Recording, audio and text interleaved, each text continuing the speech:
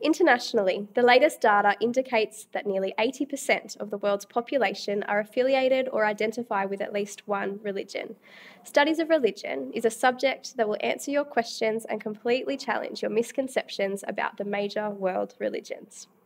It promotes an understanding and critical awareness of the nature and significance of religion and the influence of belief systems upon individuals and within the global community.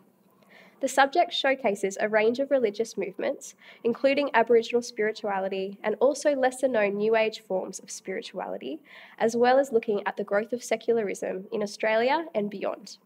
Studies of religion is a systematic subject which enables learners to develop a solid grasp of the dimensions of religion and encourages thoughtful analysis of differing faiths, critical skills for anyone interested in working in a range of sectors, including advocacy, diplomacy, law, and education. If you enjoy humanities subjects, learning about human behaviour, and the individual search for meaning, this is the subject for you.